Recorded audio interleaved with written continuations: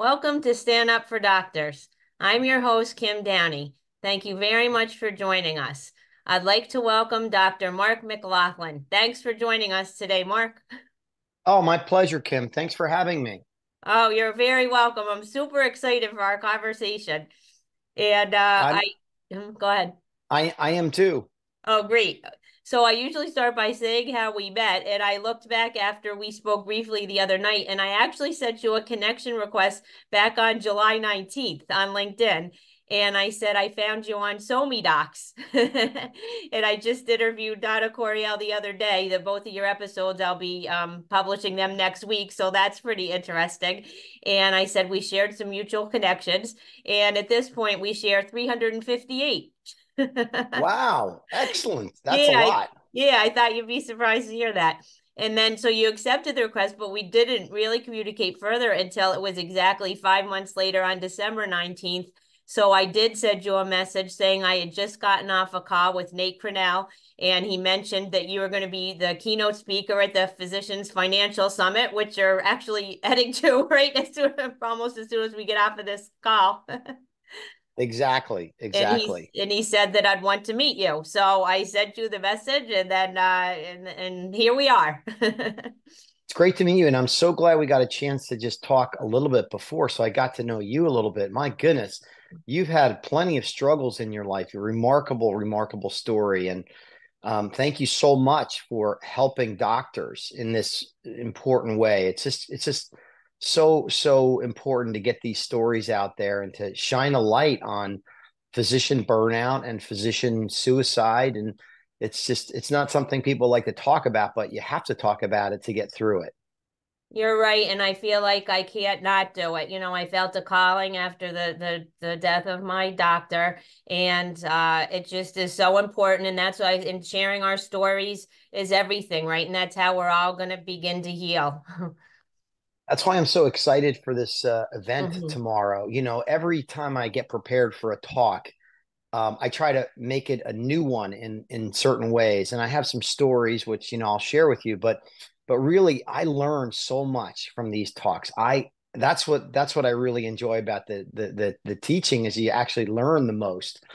And so I'm just excited to uh, to speak with everybody out there, uh, and and um, and again, you know, to talk about you know what are the what what we think are the causes of burnout and how we define it and then what are what what are the prevention tips or what are the cures that you can have to uh to deal with it appropriately? Right yeah well i love that and i would love to to hear more and um so by way of uh briefly introducing you introducing you a bit more formally um, dr mclaughlin is a neurosurgeon storyteller and coach connecting people with purpose and inspiring patients, athletes, leaders, and doctors through service. I love that. I love when you word that. And uh, Thanks. Also, you're welcome. And he's also a speaker and author of Cognitive Dominance, a brain surgeon's quest to outthink fear.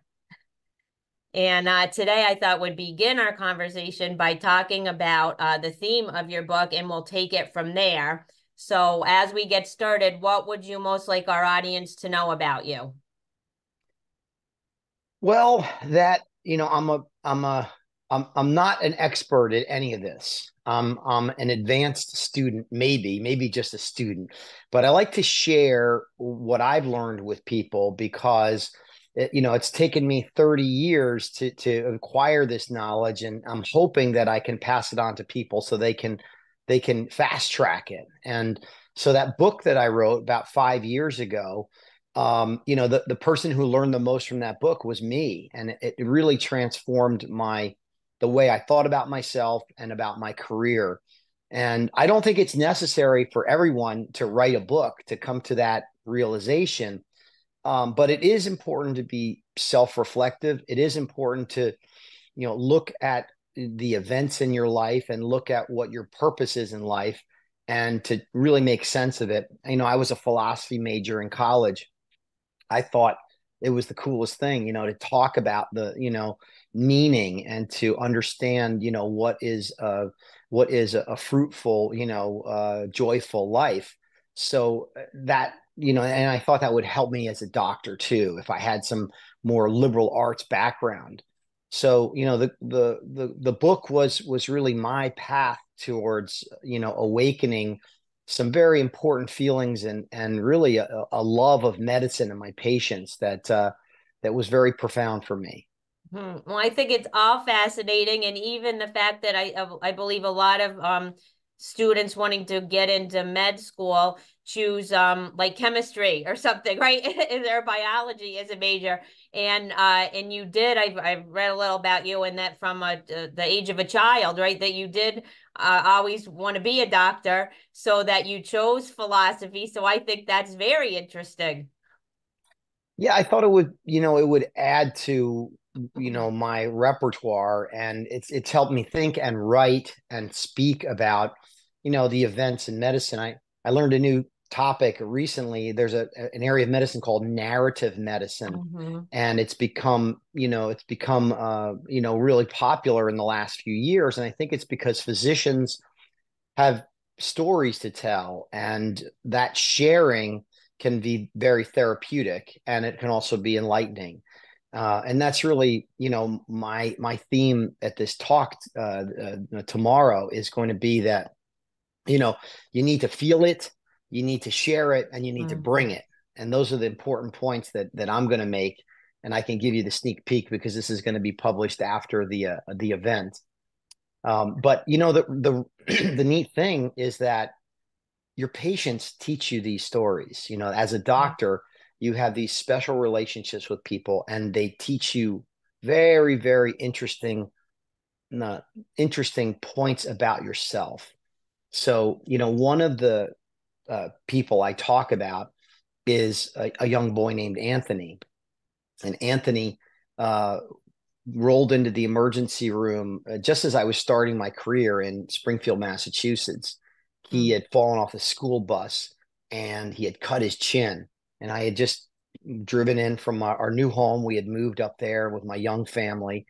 And I went in to see him and the ER doctor had gotten a scan because his parents said he's not acting right. He's been clumsy. He's mm. been falling. So they uh, they got a, a, CAT scan, and lo and behold, it showed a brain tumor. Mm. So you know, I saw Anthony in the ER, and he was this cute, curly haired kid who you know had a great sense of humor and was joking with the nurses, and you know, he just you could tell he had this magnetism to him and uh, immediately became attached to him. And I looked at his scans, and I had all the training. I had been, you know, to a very strong residency program and done a lot of work in pediatric neurosurgery. And mm-hmm. I, I felt confident I could fix him, and I was excited to fix him. I so, talked to his parents. Mom and dad owned a pizza parlor down the street. Hmm. And uh, that's when they picked up uh, that he was clumsy because he was dropping plates and things when he was mm-hmm. bussing tables, and he was you know, he was dad's number one helper at the restaurant. So I said, we can fix him. You know, I'm going to get your little boy back to you. And I took him to the operating room a day or two later. The surgery went beautifully, um, got the tumor out, and uh, he woke up perfectly. Mm-hmm. Uh, he was back to his normal self. And I thought, man, I, I just love neurosurgery. I just love this, man. Medicine is so awesome. Mm-hmm. And then 24 hours later, he deteriorated mm. and he developed a condition where he had trouble with his speech and trouble moving, uh, which was very uncomfortable for him. And we scanned him, his scans looked okay. Uh, but he had developed a, a, rare complication that that was characterized by these symptoms. Mm. And I had to talk with mom and dad and go over the the the complication with them.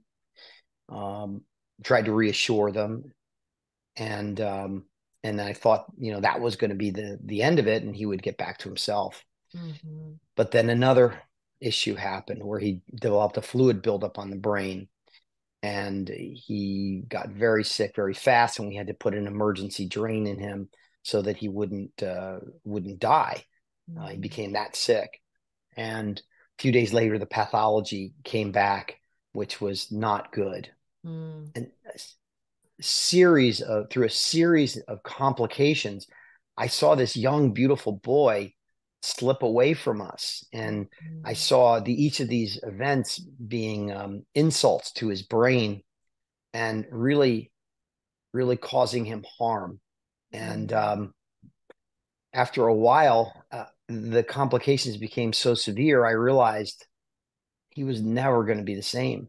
Mm-hmm. And it it wasn't just the complications. He really he really suffered. Mm-hmm. He suffered. Mm-hmm. So it was very challenging for me, and um, especially when I had a healthy four children at home. Mm-hmm. Um, but finally, he he stabilized, and uh, he was discharged from the hospital. And about three months later, and uh, mom and dad were such they were such sweet people. They they took a, they said we want to take a picture of you and Anthony. So I mm-hmm. took a picture with him. Um, but I um, I wasn't happy. The, I faked the smile yeah. because I knew there was nothing good coming to this kid. He had to get radiation, he had to get chemotherapy, and his life was turned totally upside down. And uh, he left the hospital, but he did not leave me.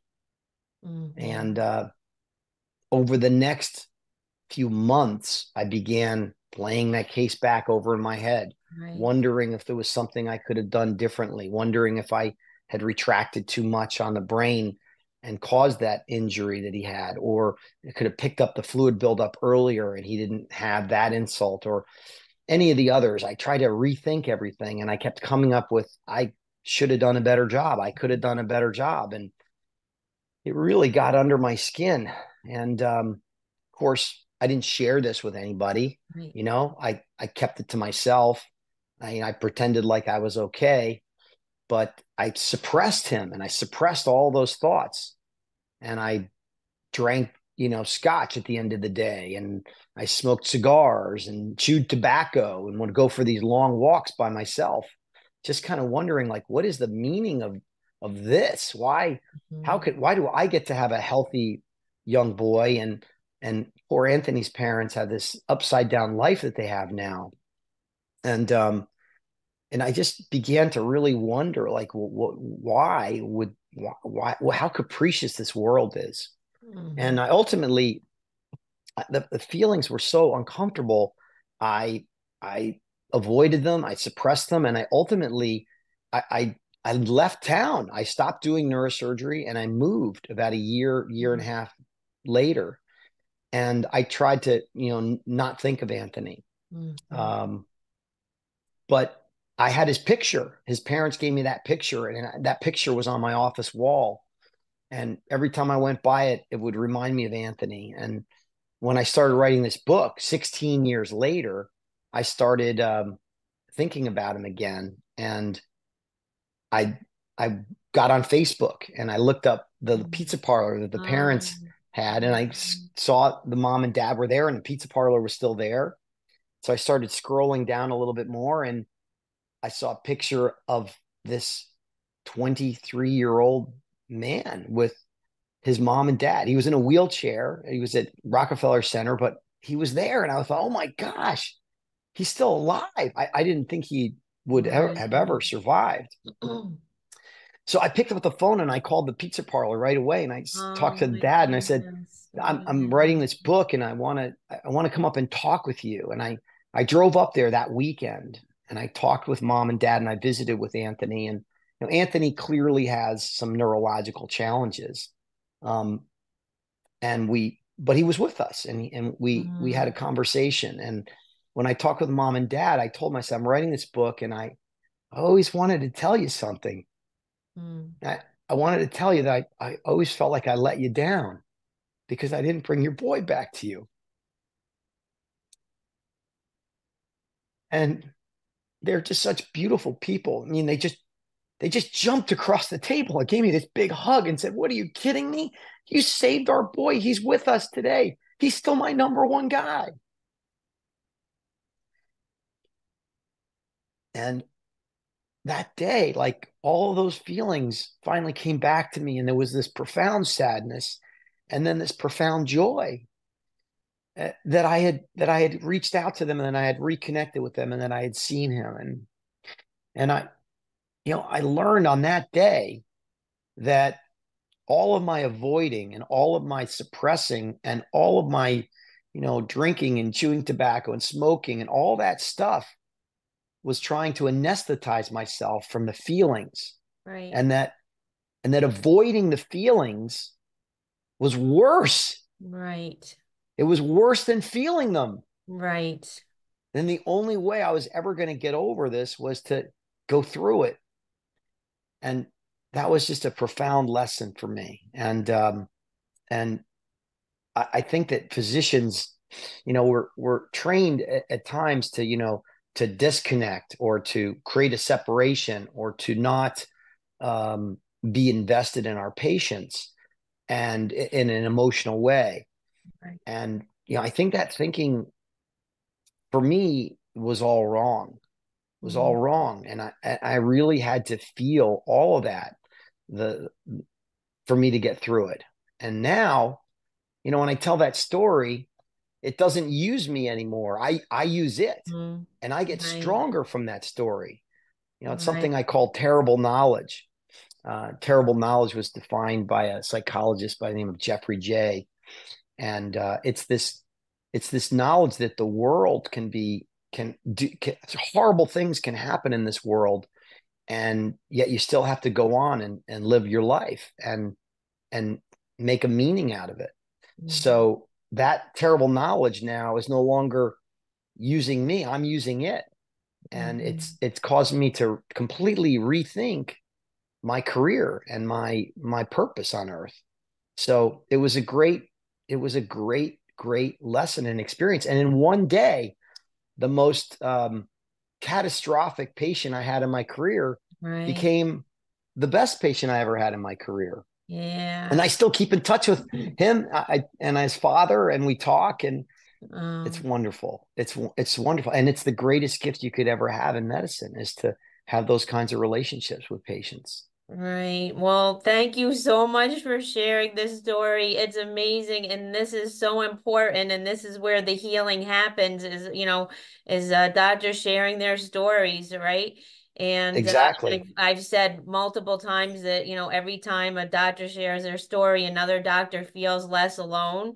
And yes. so interesting is I enlisted for because um I think I might have told you that doctors tell me like the connecting doctors is like one of my superpowers. That when I talk to a doctor, I yeah. just know who they'd like to be connected with. So I had written like four names for you, and just during your talk, all four of them came to mind, you know, just through what you were saying. So one of them is um Dr. Simon Craig. He's a OBGYN in Australia who left that to he's doing coaching systems and he wrote this book from hurting to healing, delivering love to medicine and healthcare.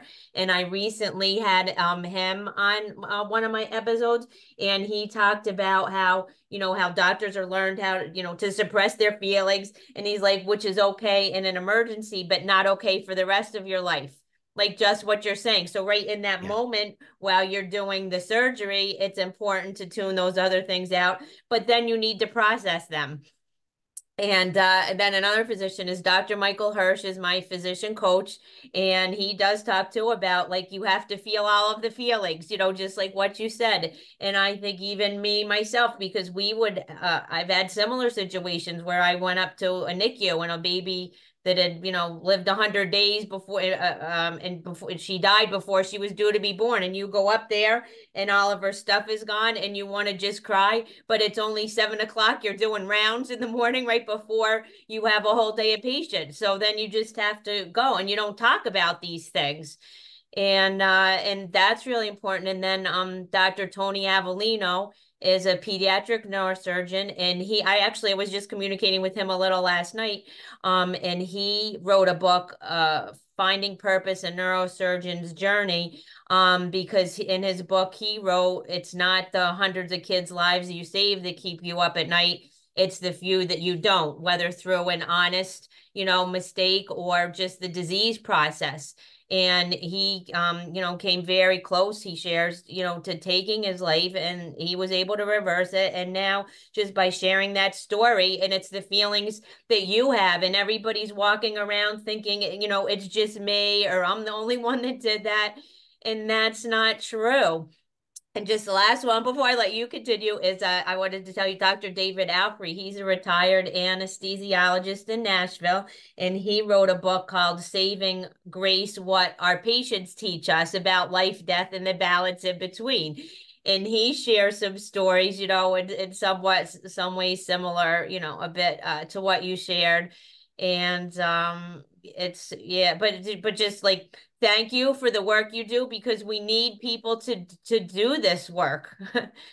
and we might be circling you. back a bit to talk about um like your book cognitive dominance a brain surgeon's quest to outthink fear so can you speak to that a little how it relates to what you just said and how you got back to uh, neurosurgery well you mentioned the word sharing and and really that's you know i said you got to feel it you got to share it and you, you mentioned that as well. So on that same night, when I was driving back after visiting with Anthony's parents, I called my editor because we were we had already we were working on the book, and um, I said to him, you know, I, I said, you know, you're never going to believe this story, and um, and we had already we had already told another story about a person who had um, who had had a, a fractured dislocation of their neck and they were paralyzed and I I operated on that person and they recovered remarkably well. And so we had already talked about that story and I and I talked about how lucky I was and how I was a lucky doctor and he was a lucky surgeon. I was a lucky surgeon, he was a lucky patient. And my editor said, "Okay, well we're going to put Anthony's story in with this other person's story. His name was Jesus. We're going to put those two stories together." And I said, "Wait a minute, hold on. Like that doesn't make any sense. Like, how did they how do they go together? And he said, you don't you don't get it, do you?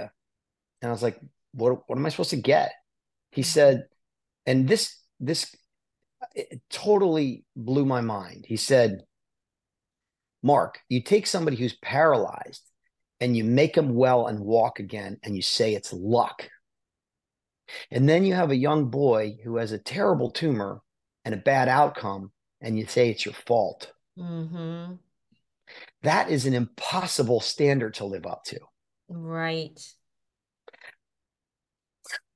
Like on that one night, that perspective, I had one perspective of mm-hmm. Anthony. By sharing my perspective with somebody else and getting another person's perspective, mm-hmm. I, I saw a bigger picture. You know, we tell ourselves a story but that story is based right. on the facts that we perceive through our filter only. Right. We don't we we ha- we don't listen to other people. We don't you know we don't let other people when we're alone. We keep it to ourselves. We're not getting other people's perspectives. Mm-hmm. By giving yourself permission to get another person's perspective, you can totally see something in a very different light. Right. And on that night, like that completely transformed the way I thought about myself as a doctor. In one night, I had two mm. experiences that were just, I mean, it was ecstasy, really, because mm. I, I, I felt something that I needed to feel, and I realized something that I had to real. And on that night, I became so much better of a doctor, so much more effective as a physician and as a person too.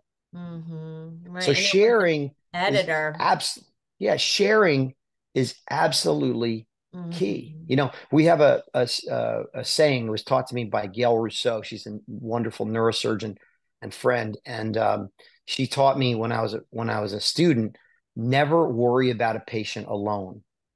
Mm-hmm. And that is a great adage for life. Like never worry about anything alone. Mm-hmm. Talk to people about it, get different perspectives. They may have answers, they may not have answers, but you're going to get different pieces of information and different perspectives, which is going to help you function and be more effective. Absolutely. And that's the message I try to get across like over and over again. And uh and on my LinkedIn page I've shared, you know, free and confidential resources for physicians. And then in podcasts, you know, I've talked about uh and and, and with Kevin MD, actually uh, we're recording one um or later this morning and it's about having crucial conversations with the uh, uh, doctors having crucial conversations with their patients, and I'm going to be doing that with uh, Dr. Frances Mei Hardin. She's an ENT in Nashville. Ah.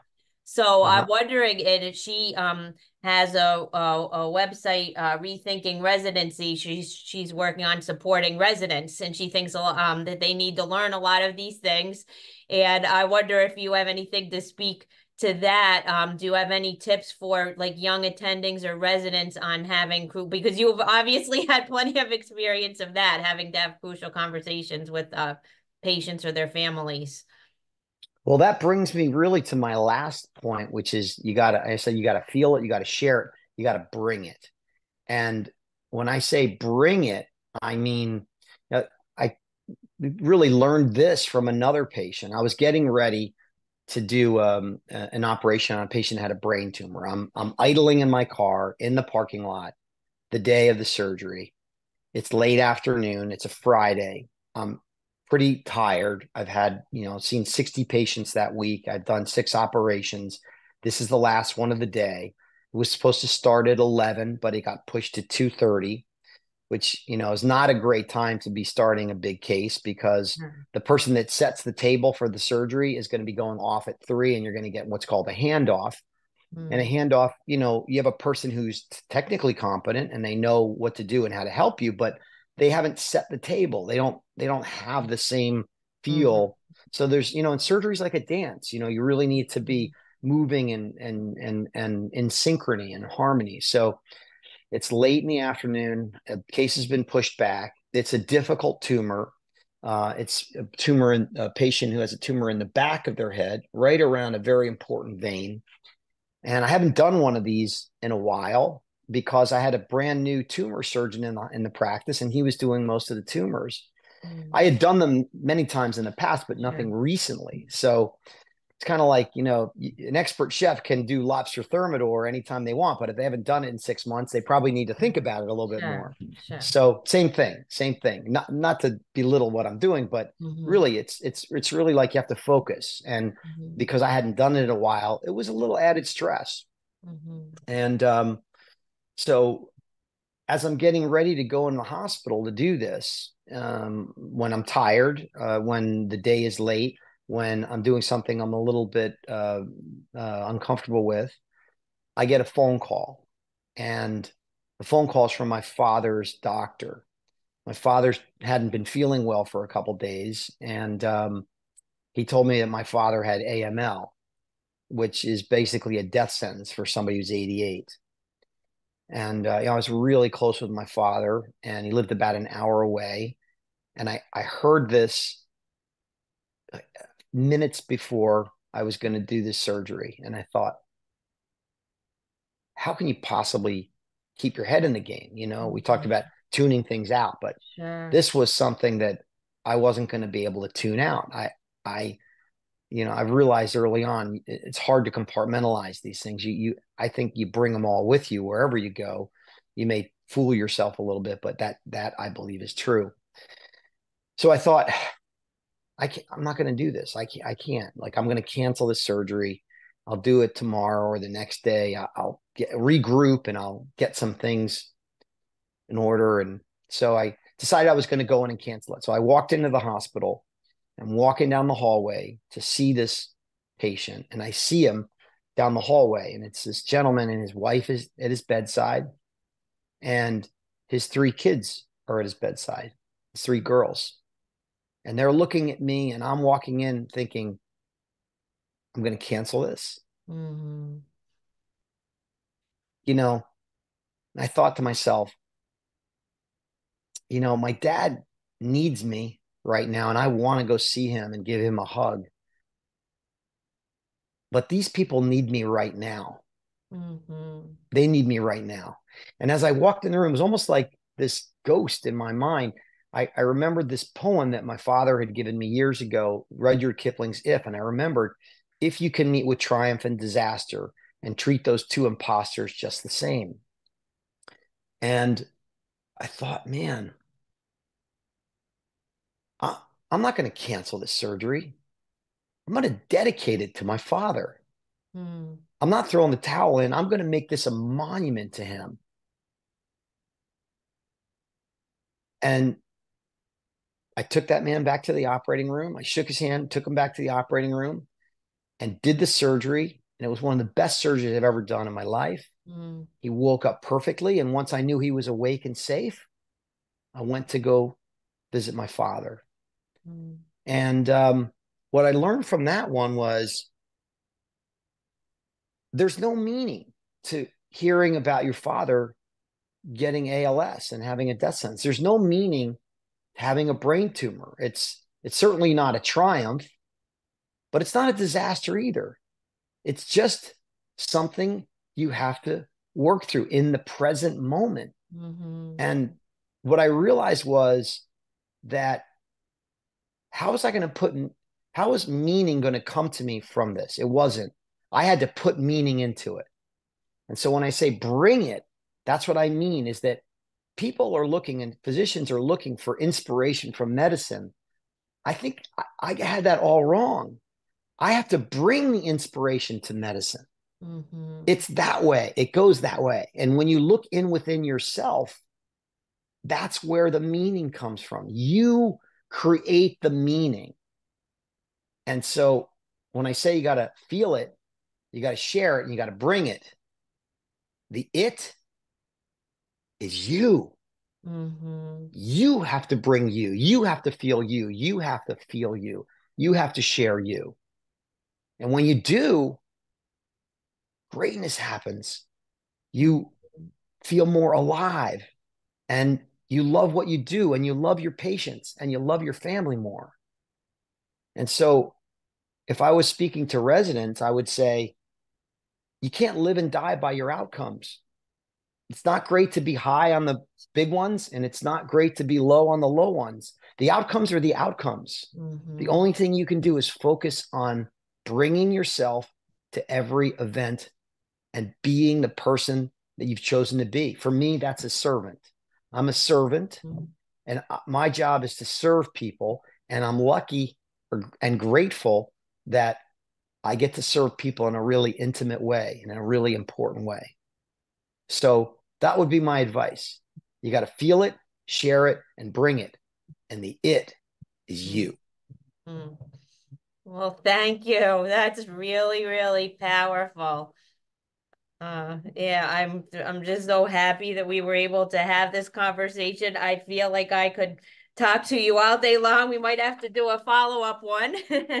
oh well, I'd yeah. be happy to. At some point, thank you, because I yeah, there's so much to learn from you. Because I had a whole lot of notes of things that we could have talked about, and uh, but I know that we have to be winding down now, and you have a plane to catch. Um, so uh, how can our listeners get in touch with you? So my uh, my Instagram page is m mclaughlin md, and um, my website is markmclaughlinmd.com. And there's a place to uh, comment or or get in touch with me if you need to. Um, and, uh, and my YouTube channel is Mark McLaughlin MD, and that would be another way to see some more of this stuff. Most of the stories I've told you are in my book, Cognitive Dominance, which you can get on Amazon, and I have a number of my talks that are uh, on YouTube, my YouTube channel. Thank you. And I um watched some of the things on your YouTube channel and I really love um I love it. oh, it's thanks. fantastic Thank even you. for the average person to see, you know, what it's like to scrub in for surgery and what's going through your mind and and all of those things. It's it's super interesting. well, thank you. Thank so, you. It's it's it's been a pleasure speaking with you, Kim. Yeah, well, you well you as well, and um, best of luck at this Physicians Financial Summit. Um, you're going to be seeing you know, all my friends there, you know, Mike and Nate and uh, Todd and Donna, and uh, I'll have to have Nate on too. He's the only one. They've all already been on here. So, uh, uh, so I think it'll be fantastic. I can't wait to hear about it. And um, so, uh, in closing, to move the needle in healthcare, we all need to raise our voices and we all need to care about each other. We already know that doctors need to care about patients. Patients need to care about doctors too. So stand up, doctors, and let's stand up for doctors.